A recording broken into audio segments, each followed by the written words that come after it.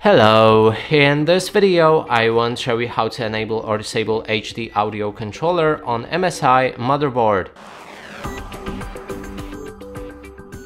To do this, first you'll need to open Advanced BIOS settings, navigate to the uh, motherboard settings, then select the boot, or I mean, pardon me, Advanced, Uh, and inside you'll be able to find integrated peripherals. There's HD audio controller that we can enable or disable.